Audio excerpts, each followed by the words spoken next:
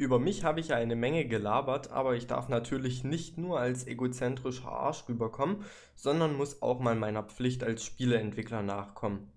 Was ist die beste Möglichkeit, um das zu tun? Richtig, ich entwickle ein Spiel, ihr kleinen Sherlocks.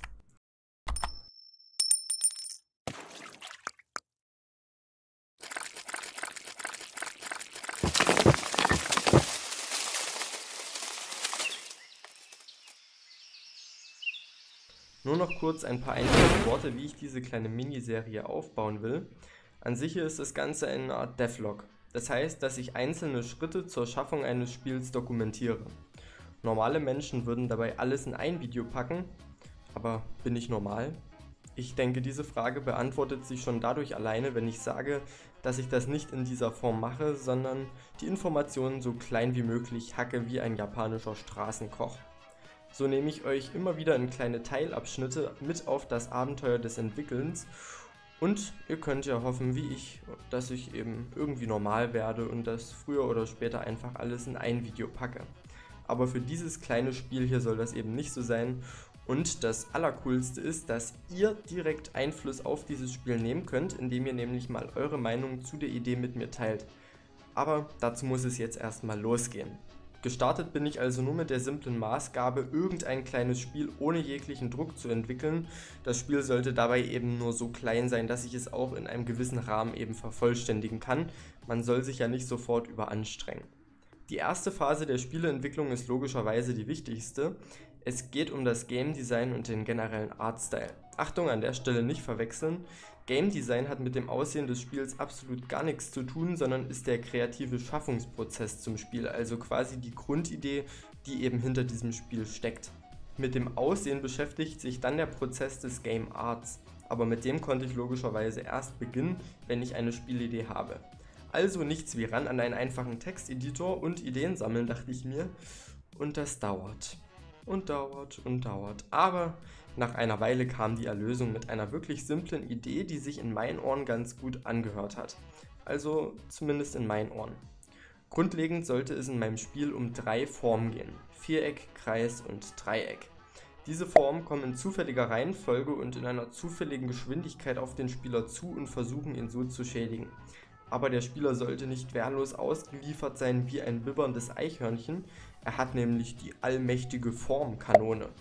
Mit dieser kann er jedenfalls je nach Einstellung drei Formen, Viereck, Kreis und Dreieck verschießen und wem das auffällt, der sieht vielleicht, dass das die gleichen Formen sind wie bei den Gegnern und wie es der Zufall so will, kann jede Form nur die Gegnerform zerstören, die es selber darstellt. Also zerstört ein Dreieck aus der Kanone ein Gegnerdreieck, aber nicht einen Gegner-Viereck oder einen Gegner-Kreis. Die logische Schlusskonsequenz, erwischt man eine Form mit der falschen Munition, wird sie nur noch aggressiver und knattert den Spieler zusammen wie ein Schlaganfall ein Rentner. Das Prinzip sollte also klar sein, aber natürlich gibt es neben dieser Einfachheit noch einen Haken. Der Spieler entscheidet nicht, wann er schießt. Mitten im Feld gibt es nämlich eine Linie, die dann ausgelöst wird, wenn eine Gegnerform darüber gleitet. Und genau in diesem Moment wird die Munition gefeuert, die der Spieler in diesem Moment ausgerüstet hat. So könnte ich auch noch einen weiteren Twist erzeugen, indem ich zum Beispiel die Position dieser Linie mitten im Spiel verschiebe. Ziemlich cool eigentlich, was man mit so einer einfachen Idee manchmal so anstellen kann, finde ich. Zu diesem Moment war das Spiel für mich aufgrund genau dieser Einfachheit eine ziemlich cool klingende Idee und auch wenn ich weitere Ideen für Power-Ups oder sogar Bosse hatte, wollte ich die zu diesem Moment nicht manifestieren, um dieses Prinzip der Einfachheit nicht zu verletzen. Stattdessen wollte ich die Simpelheit auch dadurch ausnutzen, dass ich das Game einfach für Handys als Zielplattform entwickle. Immerhin muss der Spieler lediglich zwischen den drei Formen als Munition wählen und alles andere passiert ja automatisch. Und natürlich wollte ich meine allerliebste Unity 5 Engine nutzen, aber das war für diesen Moment auch noch nicht wirklich relevant. Nachdem also alles für die Grundidee geklärt war, konnte ich jetzt mit dem Schaffen der einfachen Grafiken beginnen, die ich prinzipiell für Munition, Gegner und das Overlay nutzen wollte. Es waren also nur die drei Formen, Dreieck, Kreis, Viereck und im Nachhinein muss ich echt sagen, ich zeichne wirklich wie ein geistig gestörter Vorschüler. Und das sogar bei diesen einfachen geometrischen Formen. Doch seht selbst. Generell wählte ich eine Art Freihand-Look, indem ich die Form allesamt mit meinem Grafiktablet skizzierte, anstatt sie einfach geometrisch korrekt erzeugen zu lassen.